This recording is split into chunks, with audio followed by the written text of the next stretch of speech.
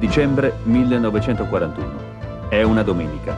Il mondo, anche se non tutto, è in guerra. Si combatte in Europa, nel deserto dell'Africa occidentale. A Pearl Harbor, maggiore base americana del Pacifico, c'è il clima sonnolento della domenica. Gli ufficiali sono nelle loro case. Chi è preposto alla sorveglianza se la prende comoda. Eppure, a qualche centinaio di chilometri, forze navali giapponesi, salpate dalle isole Kurili, sono pronte ad attaccare. L'ordine arriva all'alba. La stessa parola ripetuta tre volte. Tora, Tora, Tora.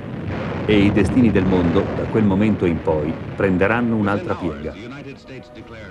Diverse ondate di caccia e di bombardieri giapponesi annientano la flotta americana del Pacifico. Era quello che Roosevelt attendeva per portare un'America recalcitrante in un conflitto esploso ancora una volta in Europa. La mobilitazione è totale e immediata. L'America è dunque in guerra. Il Giappone sciama nel Pacifico e arriva ad ipotizzare persino l'invasione dell'Australia. La riconquista delle mille isole sarà lunga, difficile e richiederà uno spaventoso tributo di vite. La storia di quei giorni è nota.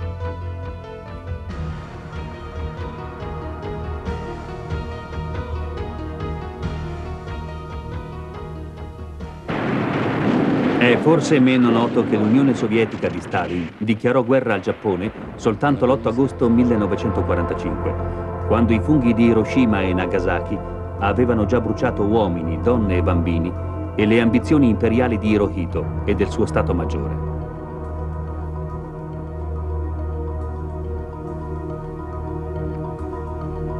Il 9 agosto le forze sovietiche impegnano i giapponesi attestati nella Manciuria nella Corea del Nord, nelle isole Kurili e nella penisola della Kamchatka.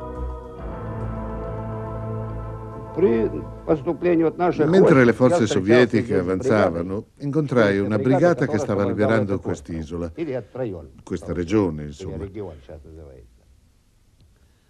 Raccontavano che i giapponesi li aspettavano stando bene allineati, deposte le armi pronti alla resa e alla prigionia. Per evitare di combattere erano pronti a lasciare tutto e tornare a casa.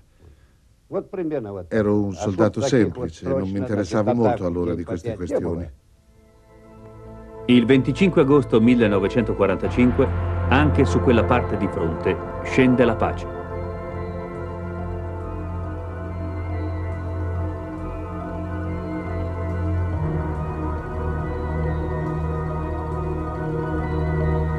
Il 2 settembre, a bordo della corazzata americana Missouri, ancorata nella baia di Tokyo, il Giappone firma la resa.